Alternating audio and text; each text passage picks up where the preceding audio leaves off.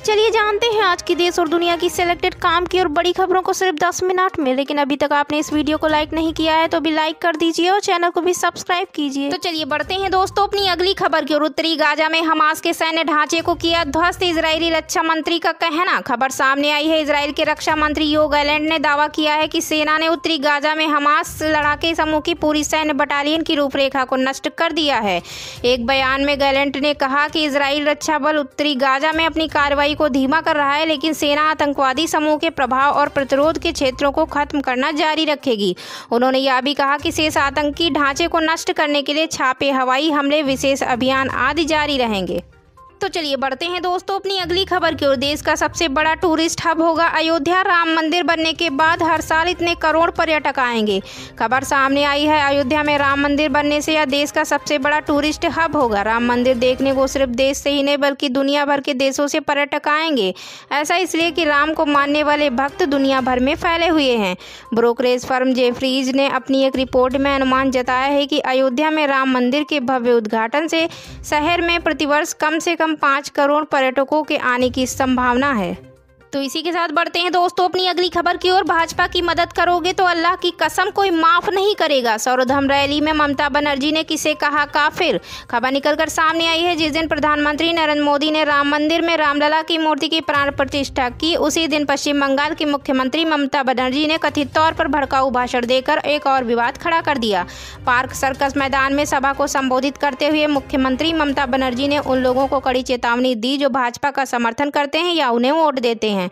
Bengal CM ने कहा कि एक बात याद रखना, भाजपा को मदद मत करना। भाजपा को अगर तुम मदद करोगे तो कोई अल्लाह की कसम तुम्हें माफ़ नहीं करेगा। हम तो माफ़ नहीं करेंगे, मुझे तो छोड़ दीजिए। सर्वधर्म संभाव रैली के दौरान सर्कस मैदान में अपने संबोधन में ममता ने कथित तौर पर यह भी कहा कि जो काफिर हैं, वो डरते हैं, जो लड़ते हैं, वो जीतते हैं।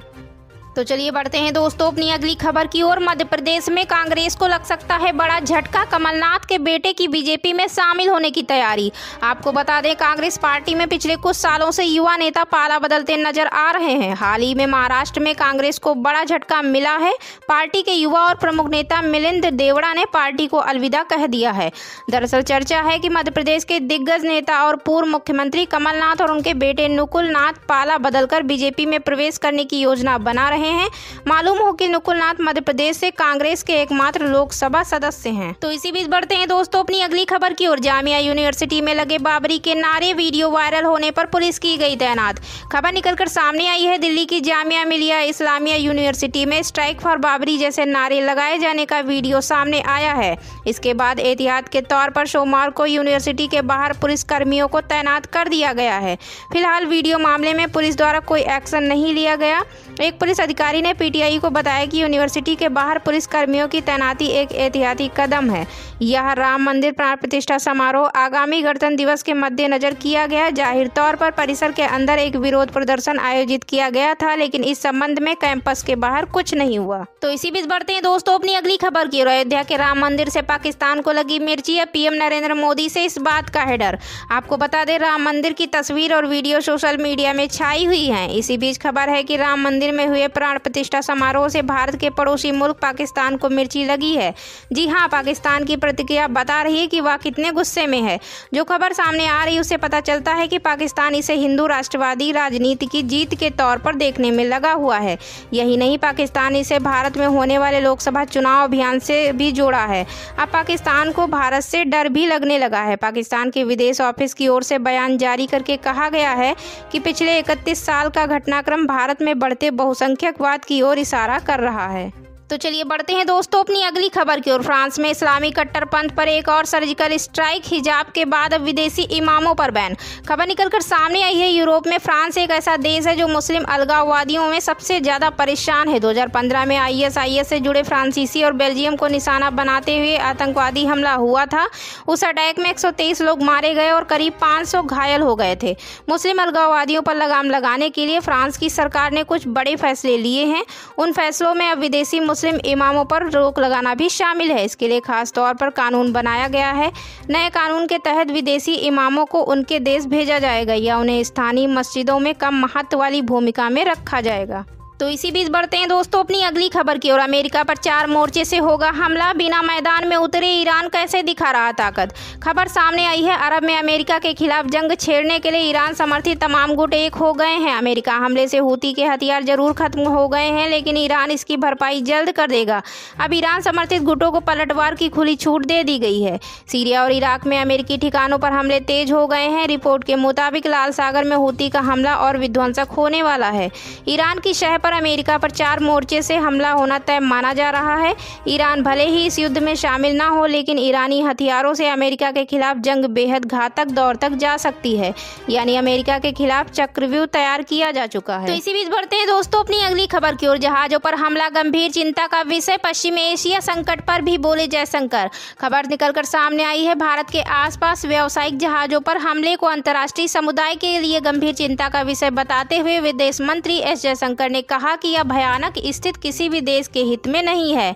उन्होंने कहा कि इस तरह के खतरों का भारत की ऊर्जा और आर्थिक हितों पर सीधा असर पड़ता है। ईरान की दो दिन की यात्रा पर तेहरान पहुँचे जयशंकर ने अपने समकक्ष हुसैन अमीर अब्दुल्लाहियन के साथ द्विपक्षीय बैठक में विभिन्न मुद्दों पर चर्चा के बाद संयुक्त प्रेस कॉन्फ्रेंस को संबोधित कर रहे थे। जयशंकर ने कहा कि हाल ही में हिंद महासागर के इस महत्वपूर्ण हिस्से में समुद्री व्यवसायिक नौवहन की सुरक्षा के लिए खतरा भी बढ़ा है। लाल सागर में जहाजों पर हमलों के संदर्भ में उन्होंने ज़ोर देते हुए कहा कि संकट को शीघ्रता से दूर किया जाना महत्वपूर्ण है। तो इसी बीच बढ़ते हैं दोस्तों अपनी अगली खबर की ओर। जामिया यूनिवर्सिटी में लगे बाबरी के नारे वीडियो वायरल होने पर पुलिस की गई तैनात।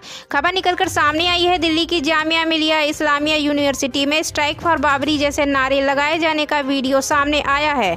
इसके बाद एहतियात के तौर पर सोमवार को यूनिवर्सिटी के बाहर पुलिस कर्मियों को तैनात कर दिया गया है। फ़िलहाल वीडियो मामले में पुलिस द्वारा कोई एक्शन नहीं लिया गया। एक पुलिस अधिकारी ने पीटीआई को बताया कि यूनिवर्सिटी के बाहर पुलिस कर्मियों की तैनाती एक एहतियाती कदम है। यह राम मंदिर प्राण प्रतिष्ठा समारोह आगामी गणतंत्र दिवस के मद्देनजर किया गया। ज़ाहिर तौर पर परिसर के अंदर एक विरोध प्रदर्शन आयोजित किया गया था, लेकिन इस संबंध में कैंपस के बाहर कुछ नहीं हुआ। तो इसी बीच बढ़ते हैं दोस्तों अपनी अगली खबर की अयोध्या के राम मंदिर से पाकिस्तान को लगी मिर्ची। या पीएम नरेंद्र मोदी से इस बात का है डर।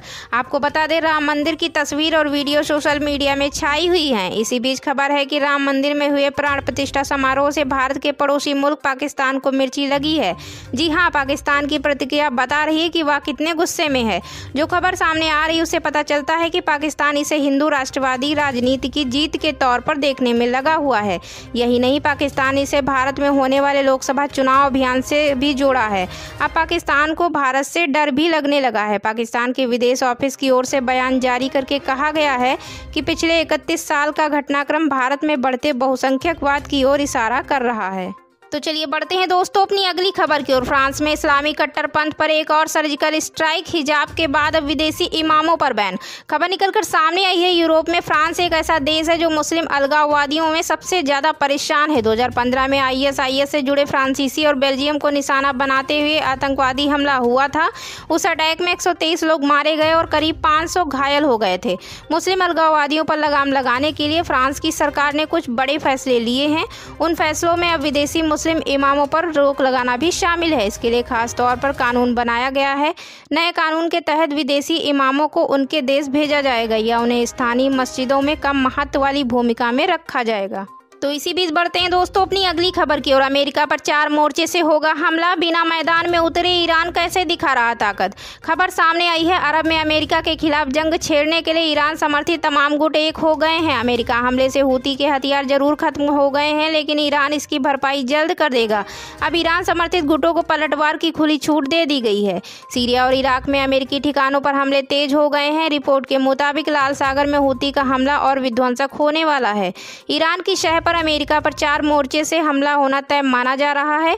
ईरान भले ही इस युद्ध में शामिल ना हो, लेकिन ईरानी हथियारों से अमेरिका के खिलाफ जंग बेहद घातक दौर तक जा सकती है।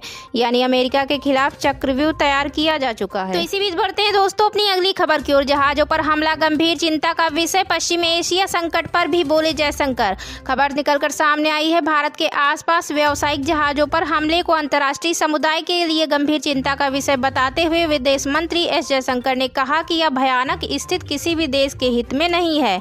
उन्होंने कहा कि इस तरह के खतरों का भारत की ऊर्जा और आर्थिक हितों पर सीधा असर पड़ता है। ईरान की दो दिन की यात्रा पर तेहरान पहुँचे जयशंकर ने अपने समकक्ष हुसैन अमीर अब्दुल्लाहियन के साथ द्विपक्षीय बैठक में विभिन्न मुद्दों पर चर्चा के बाद संयुक्त प्रेस कॉन्फ्रेंस को संबोधित कर रहे थे। जयशंकर ने कहा कि हाल ही में हिंद महासागर के इस महत्वपूर्ण हिस्से में समुद्री व्यवसायिक नौवहन की सुरक्षा के लिए खतरा भी बढ़ा है।